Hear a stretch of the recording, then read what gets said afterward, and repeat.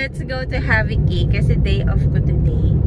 Katatapos lang din ni Nico na maputol yung mga kahoy guys. And sobrang dami niyang bagaso. So idadaan muna natin yun doon sa Kaskari. Tapos, mag-Haviki tayo.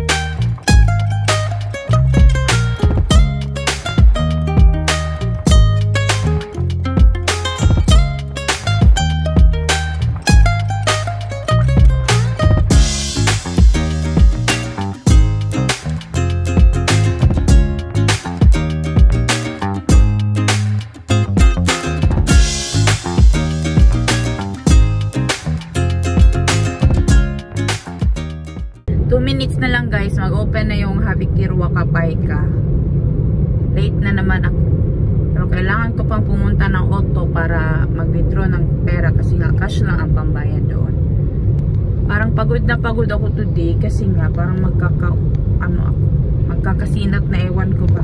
Kasi umuulan, tapos init na naman, ulan, init. Ang weird talaga ng weather. But yeah, malapit na talaga tayo doon sa Haviki. Pero late ako guys, but that's okay. Let's see anong mabibili ko doon for worth 10 euros today sa Haviki Irwa Kapayka. 6 minutes tayo late guys. Wala nang tao sa labas. Nasa loob na sila lahat. It's okay. Dito na ako sa loob. Sobrang late ko talaga. Maraming tao. Sana naman maraming pagkain. No? Maraming fruits ba?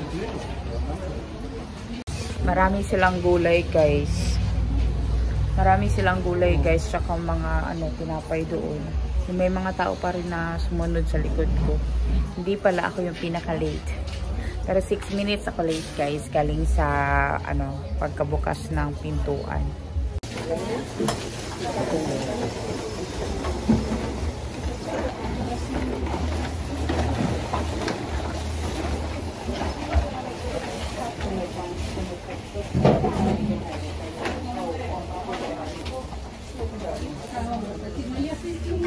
Ang daming mga tinapay oh, as in.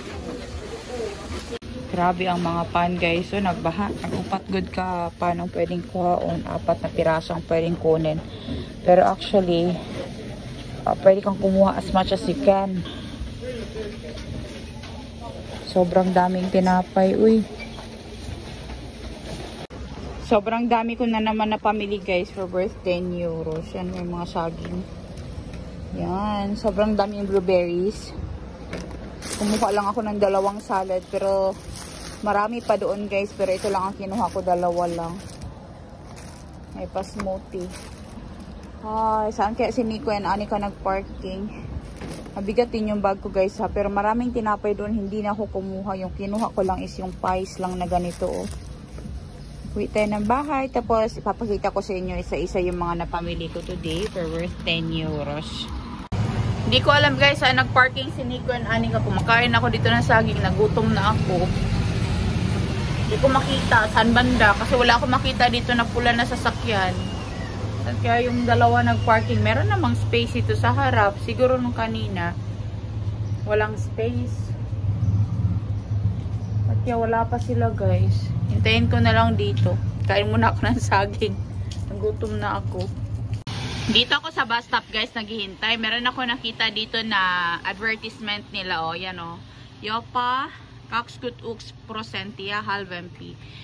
So, sabi dito is yung Lidl daw is 25% cheaper compared to Prisma, S-Market, Co-City Market, and K Supermarket. Yan yung mga different kinds of stores dito sa Finland. And Lidl yung pinakamura. Pero para sa akin, wala pa rin makakamura at mapapamura ka talaga sa sobrang dami mong mabibili dito sa ano, sa Havikirwa ka. Kasi 10 euros lang ito, imaginein mo. This is like more than 80% kung 21% ang Lidl, 80% cheaper ang Haviki Ruaka Paika na to guys. Kasi 10 euros lang talaga yung nagagastos ko. And sobrang dami ko talagang nabibili. Yung iba guys, eh, sobrang late na rin talaga nilang pumupunta dito. Tingnan mo yun si kuya oh. Papapas papasok pa lang siya doon. Mag 5.30 na ng hapon guys. Ayan, yan din yung isa ko. Papasok pa dyan. Wala pa. Wala, wala pa si Rico tsaka si Anika guys. Sana kaya yung dalawang yun. Wala man kasi ako makita dito na red na car sa parking. Saan kaya sila nag-parking banda? Hintayin ko na lang talaga dito sa bus stop. Ala, sana kaya sila? Hindi ko sila makonta kasi wala akong internet. Nauhaw pa naman na ako. Inumin ko na lang tong smoothie, guys. Sana kaya sila nag-parking banda? Siguro kasi nasa phone yun si Nico eh nakalimutan niya na ako. Ngayon, ganun yun eh. Basta may kausap sa phone. Wala talaga guys. Buti na lang may pagkain ako dito. Mango banana smoothie pala ito guys. Inumin ko na to kasi nauhaw na ako.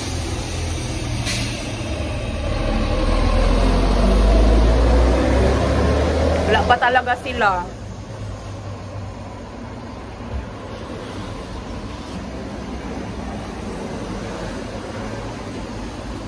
Ah, bahala sila basta may pagkain ako dito. Okay lang ako. Di naman malamig. Naubos ko na yung aking smoothie guys. Wala pa rin sila guys. Sana kaya yung dalawang yun. Iniwan na ako guys.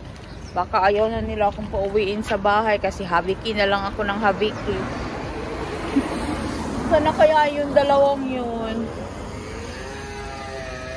But I'm pretty sure nasa phone yun si Nico and may kausap yun kaya hindi pa siya makapag-drive.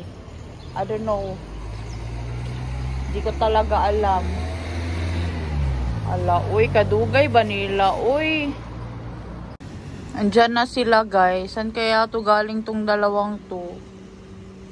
Oh, hindi ko talaga to bit-bitin. San kaya galing tong dalawang to?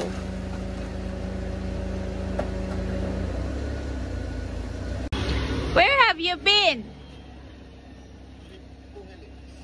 See, you're on the phone. That's what I knew. Ayan. See, I knew it that you were on the phone. Wait na tayo guys, oy. It's a mindset shift. Happiness is the key to success. Star Daddy in the building. Let's go.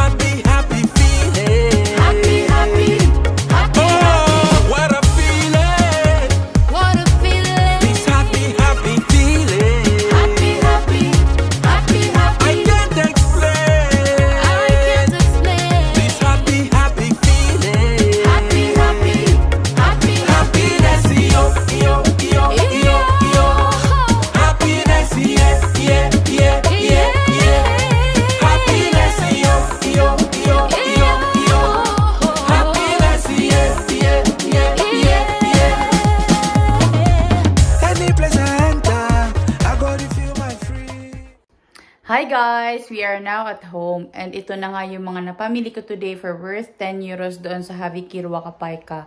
Huli man ako sa pila guys, as in sobrang huli sa pila. Marami pa rin ako napamili and hindi pa rin tayo nalugi sa pagpunta doon and sa pagbiyahe and pagbili ng Haviki Ruaka. Kahit na nasa huli ako sa pila guys, I'm so happy kasi nga marami pa rin ako napamili. And tingnan nyo naman, may pakarne na naman tayo dyan sa mesa. Isa-isahin natin to lahat, ano-ano yung mga napamili natin doon. Yan, sobrang kompleto yung ating pag-grill guys or yung ating pa ah, barbecue kasi meron tayong rub. Santa Maria rub. Alam niyo ba ito, hindi pa siya mag-expire. Ah, itong isa, rub all around. is mag-e-expire siya on April 13, 2025. Next year pa. Ayan. Next year pa siya mag-expire. Tapos yung isa naman is this year, uh, July 6, 2024. Ayan o. Oh, July 6, 2024 pa siya mag-expire. Yan. Rub ito guys sa mga uh, pag-grill. Like example, yung mga karne. And speaking of karne, meron na tayong karne na pwede na natin gamitin for this one. But I was thinking na pwede ko itong gamitin doon sa aming uh, deer meat. Kasi meron kaming uh, deer leg na hindi pa namin na gagamit guys. Andun pa sa freezer. So I was thinking na pwede namin itong gamitin doon. Yeah, tapos meron tayong isang karne nito, portion culeus. Ito yung part ng baboy guys na may ribs nga siya. Ayan o. Tapos meron siyang karne.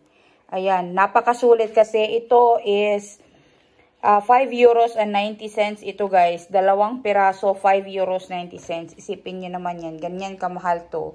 Tapos meron tayo ditong sisa fillet na for grilling. And this is 6 euros and 20 cents. Pero, kasali siya sa lahat ng nabili natin for worth 10 euros. Napakasulit. Itong dalawang item pa lang guys, lumagpas na ng 10 euro doon sa budget natin, di ba? Yeah, hindi na tayo lugi talaga. And never naman talaga tayong nalugi doon sa Haviki. Meron din tayo ditong Revitet Tukana or yung chicken siya guys na nahimay-himay nga siya. Pwede siya sa pastir fry o kaya sa uh, tinapay. Ayan o. Yung ilalagay sa mga pita bread. And dalawa yung piraso na meron tayo nito. Yan. Tapos meron din tayo ditong mascarpone na product siya na Value. Actually, ito yung bagong product ng Value. Pwede ko ito magamit guys sa mga pa-dessert ko dito sa bahay kapag gagawa ako ng cakes.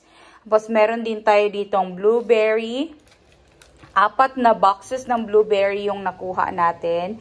So, ito for sure is maubos to agad ni Nico and Anika. Yan. Sobrang tagal ko nang hindi nakakuha ng maraming berries doon ba. Parang last year yata yung sobrang daming blueberries talaga na nakukuha. Pero this year guys, uh, hindi masyado.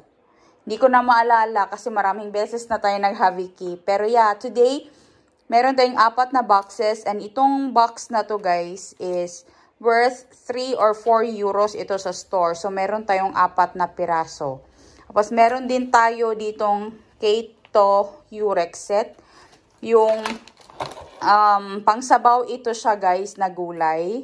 Pwede ko siyang idiretso ilagay sa freezer and hindi ito masisira agad-agad. Gagamitin ko to kapag gagawa ako ng karyalan pie stick.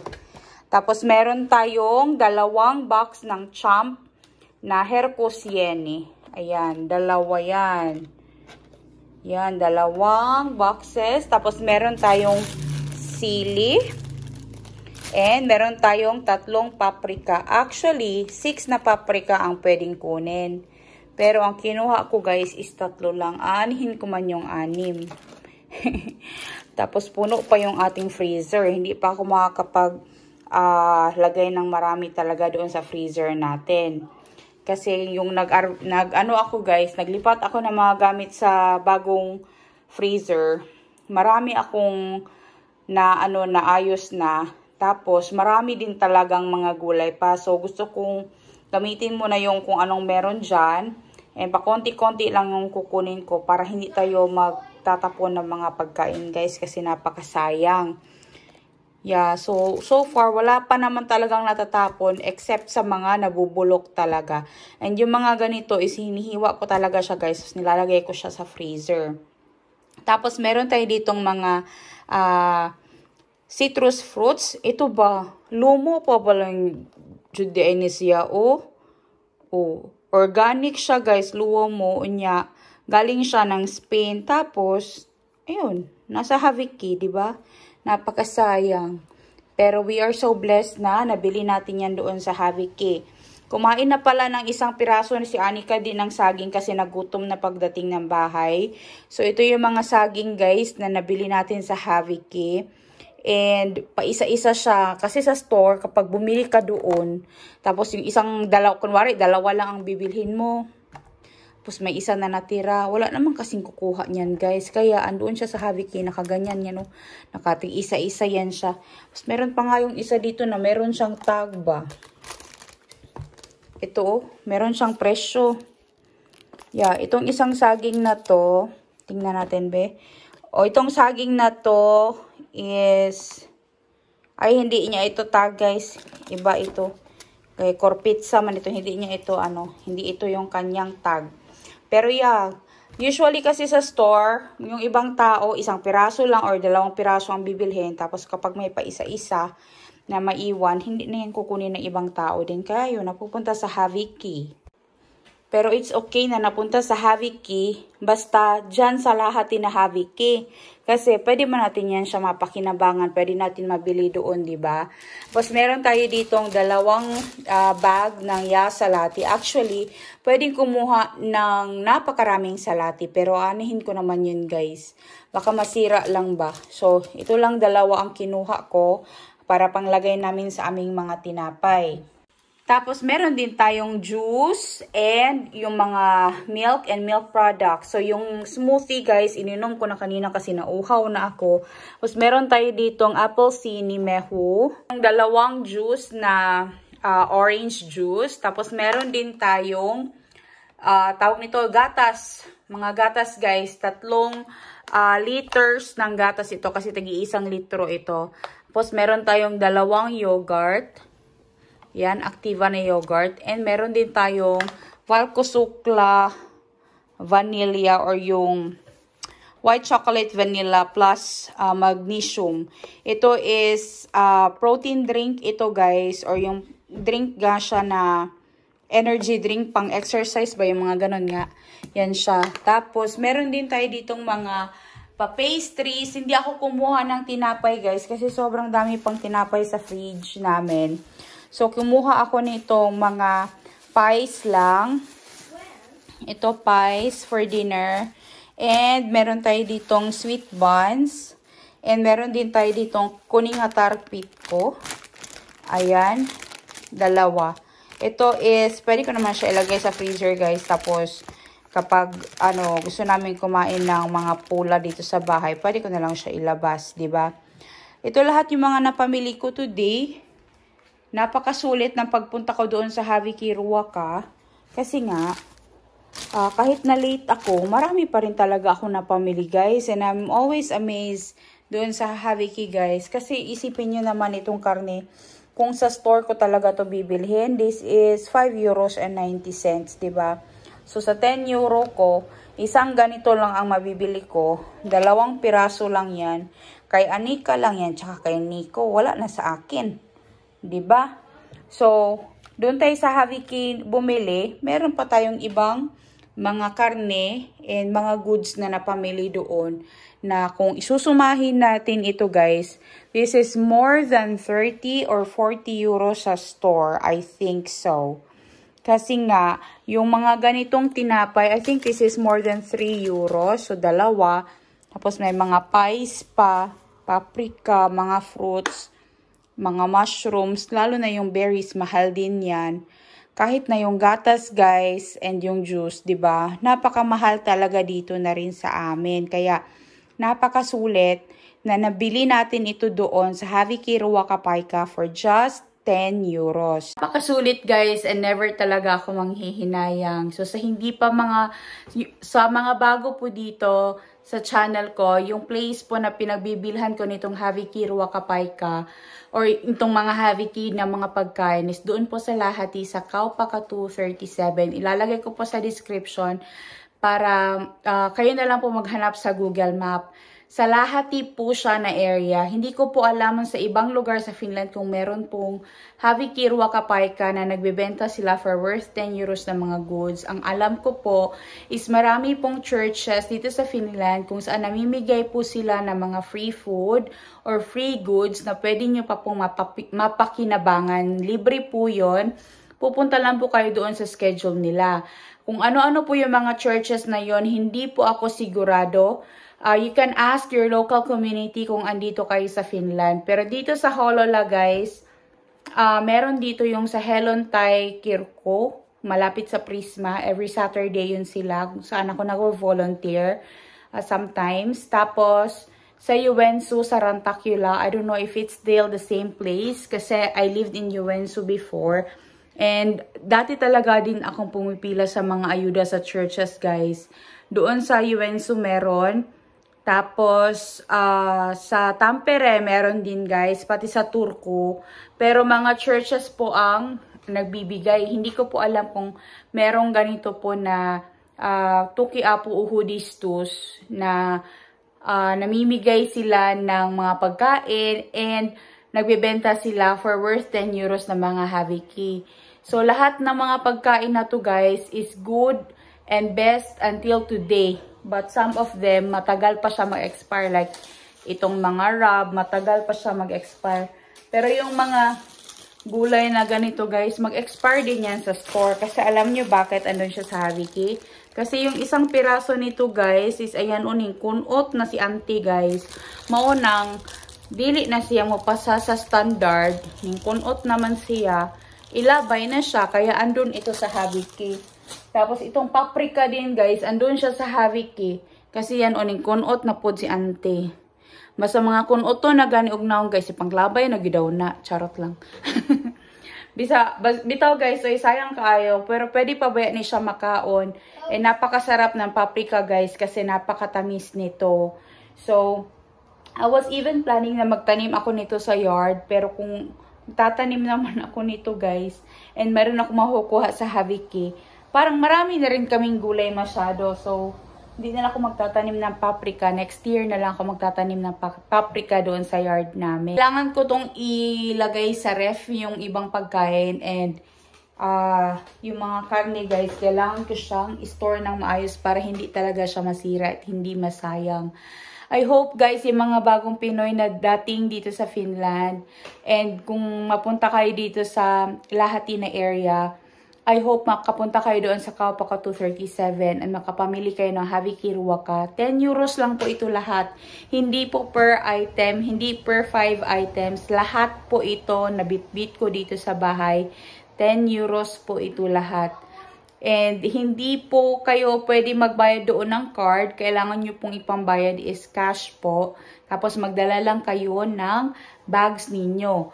Tapos, pagdating nyo doon sa loob, magbabayad kayo. Tapos, bawat boxes, merong nakalagay na number. Like, example sa milk boxes, apat ang pwedeng kunin. Merong number 4. Merong number 2 doon sa mga yogurt. Tapos, sa mga karne, isa or dalawa. Tapos, doon sa mga palaman ng tinapay, merong isa or dalawa na number na nakalagay.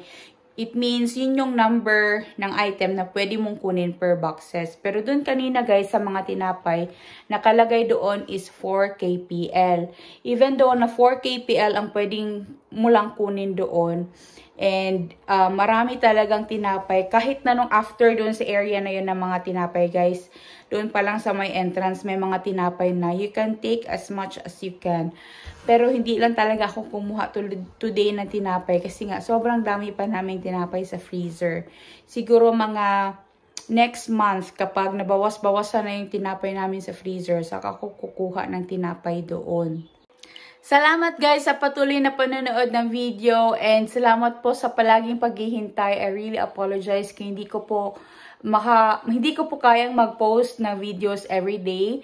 Sometimes may mga absences ako na hindi ako makakapag-post. It's because I also need to rest and pinipili ko rin talaga guys na magpahinga. I really don't stress myself sa mga videos or sa mga pa-posts guys sa YouTube kasi mas ko po talaga yung aking trabaho. Kasi yun po talaga yung main source of income ko. Itong sa YouTube po naman, meron naman po akong income pero konti lang po siya and it's not enough to pay our rent, to pay my gasoline, and to pay my car. And sa lahat-lahat po ng gastusin ko guys dito sa bahay, hindi po siya enough. Kaya hindi ko rin po mabibigyan ng priority itong YouTube talaga. But I hope one day na makapag-post din talaga ako ng daily vlogs guys na yung hindi naman masyadong boring na alam ko naman yung iba sa inyo is hindi talaga nagugustuhan yung Habiki kasi nga boring daw, puro lang daw food, ganyan, wala daw kung ibang binavlog na iba. Ito lang din kasi talaga guys yung ginagawa din namin dito and um, alangan naman mag-isip pa ako ng mga pranks-pranks guys, ganon. Ayaw nga nini ko na joke-joke ko siya ng mga pranks guys kasi nga baka daw atakihin siya yun sa puso. Kasi pinrang ko yan siya noon guys. Alam niyo ba ang nangyari? Nagalit siya sa akin guys kasi yung kanyang kapitbahay, sumakit ang dibdib guys. Ina, parang nag ano, nagpalpitate. Ayun, uminom ng gamot. Ayoko naman ng ganun guys na mapahamak pa yung iba dahil sa mga kalokohan ko. Kaya hindi ko na talaga uulitin. Pero yung mga kansya sawan lang namin, joke-joke, ganyan. Yun lang ang ginagawa. Pero yung mga pranks-pranks, guys, I'm not really into that kind of thing. So, salamat po sa inyo, guys, sa patuloy na panonood at pagsuporta po sa aming channel. I will really try my best na mag-post na videos as much as I can. And thank you so much po sa inyong lahat sa palaging paghihintay. I hope you like, share, and subscribe to our channel. I will see you again next time. Hey, hey!